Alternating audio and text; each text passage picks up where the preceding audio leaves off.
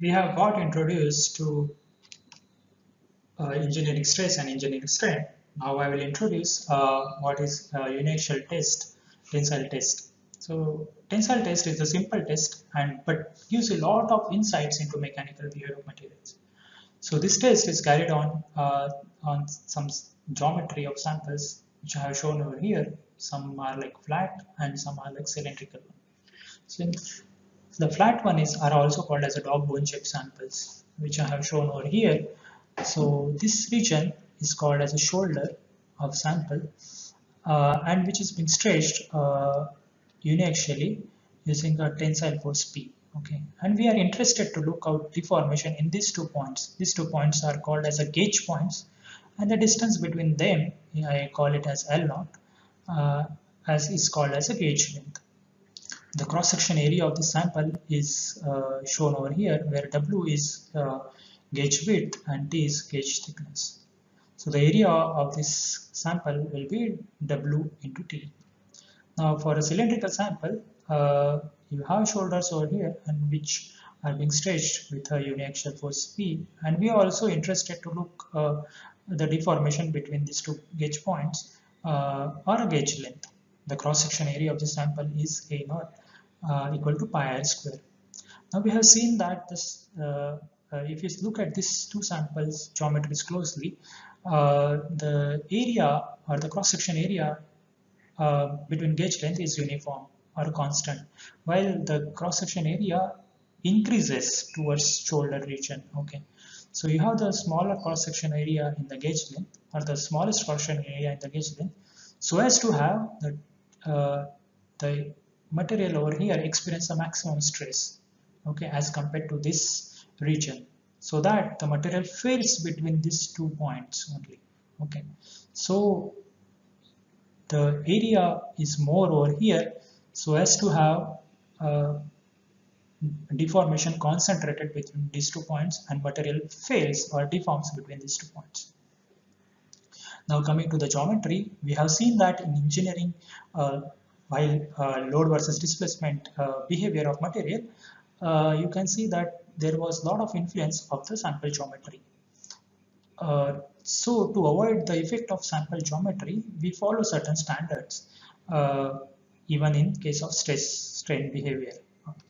So we uh, these standards are given by ASTM, which are which is which stands for American Society for Testing and Materials, and for sheet sample, we follow this uh, uh, ratio of length to the cross to the square root of its cross section area as 4.5 while for round sample we follow L by D to be 4 4 so we carry out this test using UTM okay what UTM stands for Universal Testing Machine, which I have shown over here.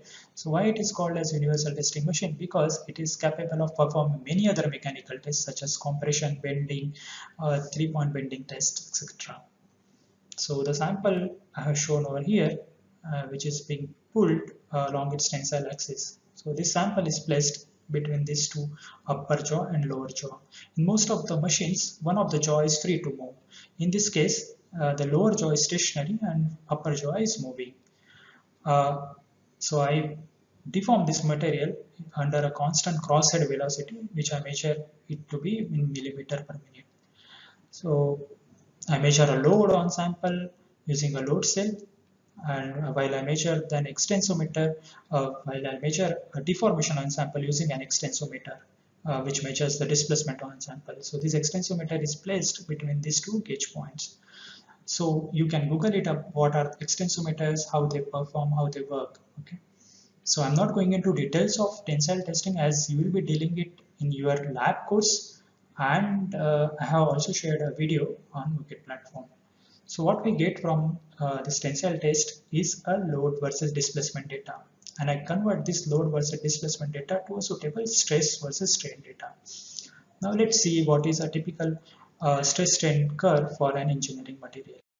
So let's say for a ductile metals or alloys, I get this, uh, I have this stress, engineering stress defined as force upon area and engineering stress as L upon L naught. So the units are MPa and here, there, here the engineering strain is unitless. So I get this typical uh, stress versus strain plot for a ductile material. Okay. Now I mark four points on this uh, stress versus strain plot uh, and I name it as ABCD. I also mark corresponding stress to these points. Okay. Now if I see this region, uh, I call this region as elastic region. What do I mean by elastic? Let's say if I deform my material till point A, uh, I stretch my material till point A and I release it, the load. So what happens, it springs back to its original point shape and it regains its original dimension. So there is no uh, change in dimension if I stretch my material till point A and I release it. Uh, this region uh, is called as a plastic region. What happens in this region is that if I deform my material at this point, there will be a permanent uh, deformation or there will be a change in dimension even if I release my stress. Okay. So this is called as a plastic region. So this is a linear region. This is a non non-linear region and uh, the slope of this linear region is, is called as a Young's modulus, which is a stress upon strain. So this point uh, A is called as proportionality limit and point B is called as an elastic limit. Uh, we will be looking these two points or we'll define these two points in our uh, next slide. So what happens at point A, uh, there is no change in the uh, sample dimension if I deform my material till point A. Okay, so if I deform my material and I release load, there will be no change in the dimensions. Just above point B, there are slight changes in my sample dimension. Okay. Uh, now, if I keep on deforming my uh, till point C, the point C shows the maximum stress uh, material can demonstrate. I call it as UTS or ultimate tensile stress or tensile strength of a material. Okay. Now what happens above this point A? So uh, what happens from point B to point C? Let's understand uh, in this region and then we see uh, what happens above point C. So from this region, uh, the delta L increases. Okay, the change in length increases and delta L decreases. But from point B to point C, that is this change is this change is uniform. Okay, this change is uniform till point C. Okay, what happens at point C? Above point C, the delta A, the change in area is non-uniform is non-uniform. What, what do I mean by that? So let's say I have a sample like this, okay, and it changes its cross-section area till point C, it becomes uniform, okay, it elongates, but its cross-section area is uniformly changing. But above point C, what happens? You get a geometrical constriction or something like this. So this sample, the cross-section area changes locally, okay, or reduces locally. And thus all the stress will be concentrated at this region, okay, uh, and there is a formation of neck, okay. What do I mean by that? Here, the cross-section area reduced drastically above point C, and the, all the load will be concentrated at this point, uh, and I call it as a necking, okay. Now the load will get concentrated at this point now delta A or the change in area at this region decreases drastically and I don't need a further load to deform it, the material. So the delta A keeps on decreasing and at point D the material fails. Okay.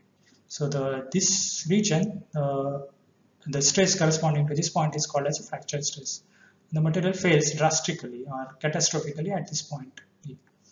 So another important point is uh, the strain corresponding to this point is called as a fracture strain.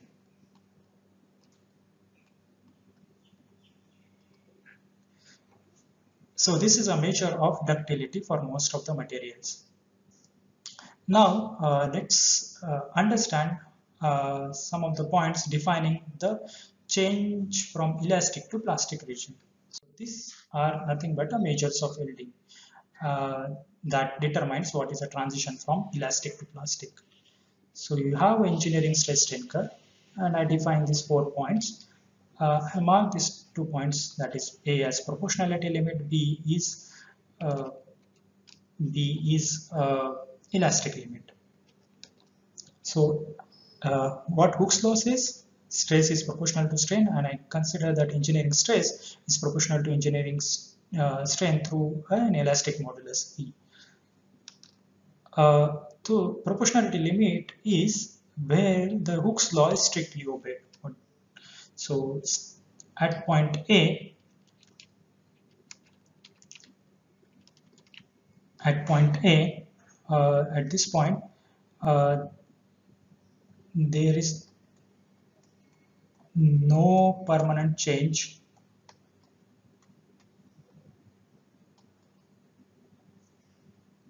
change in dimension. So if I deform my material till point A, there will not be any change in the sample dimensions.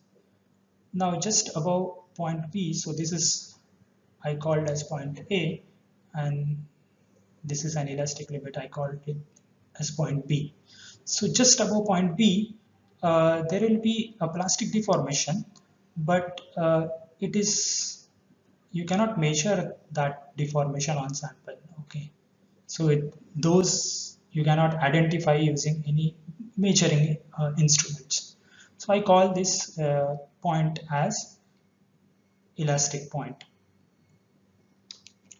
So the third point is a yield stress or yield strain that is point Y.